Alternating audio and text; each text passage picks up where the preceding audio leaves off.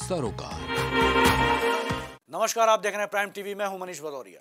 Uzbekistan के समरकंद में SCO summit का आयोजन हो रहा है जिसमें प्रधानमंत्री नरेंद्र मोदी भी इस समिट का हिस्सा हैं।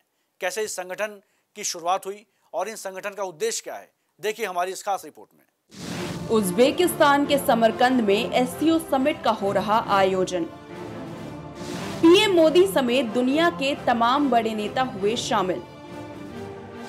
उन्नीस सौ छियानवे में हुई थी एससीओ की शुरुआत। इस संगठन में आठ देश है सदस्य। संगठन में चार देश ऑब्जर्वर और छह देश है डायलॉग पार्टनर्स उज्बेकिस्तान के समरकंद में एससीओ समिट का आयोजन हो रहा है, जिसमें प्रधानमंत्री नरेंद्र मोदी भी इस समिट का हिस्सा हैं। इस संगठन की शुरुआत साल उन्नीस सौ छियानवे में हुई थी और तब ये शंघाई पाँच के नाम से जाना गया। उस वक्त चीन, रूस, कजाकिस्तान, किर्गिस्तान और तजाकिस्तान इसके सदस्य थे। एससीओ का मकसद नस्लीय और धार्मिक चरमपंथ का सामना करना था। इसी के साथ बिज़नेस और निवेश को बढ़ाना भी इसका उद्देश्य था। दरअसल एससीओ की फुल फॉर्म है शंघाई कॉरपोरेशन ऑर्गेनाइजेशन। इस संगठन को साल 2001 में एससीओ नाम दिया गया था। संगठन के पीछे की सोच ये थी कि सेंट्रल एशिया के ऐसे मुल्क जो नए नए आज़ाद हुए थे और जिनकी सीमा रूस और चीन के साथ लगती थी, उस सीमा पर तनाव को कैसे रोका जाए और कैसे सीमाओं का सुधार और उसका निर्धारण किया जाए। इस संगठन का यही मकसद था, पर यह मकसद इस संगठन के बनने के पहले तीन साल के अंदर ही हासिल कर लिया गया था। इसके बाद इस संगठन का फोकस एनर्जी सप्लाई और आतंकवाद को खत्म करने की ओर शिफ्ट हो गया। इसे यूरेशियन पॉलिटिकल इकोनॉमी और मिलिट्री ऑर्गेनाइजेशन समझा जाता है। क्योंकि इसमें यूरोप और एशिया दोनों ही तरफ़ के देश शामिल हैं।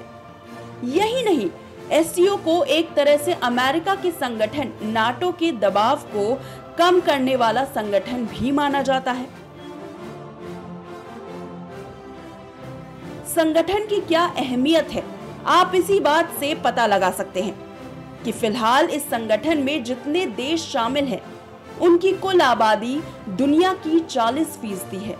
साल 2001 में जब इस संगठन को एससीओ नाम दिया गया था, तभी उज्बेकिस्तान को भी इसका सदस्य बना लिया गया।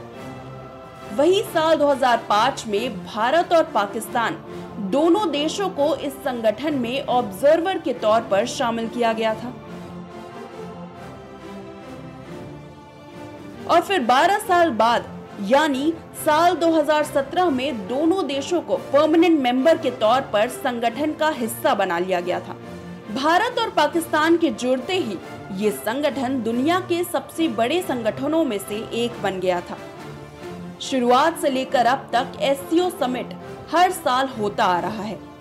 इस संगठन में आठ सदस्य हैं। इनके अलावा फ़िलहाल एससीओ समिट में छह डायलॉग पार्टनर्स भी हैं।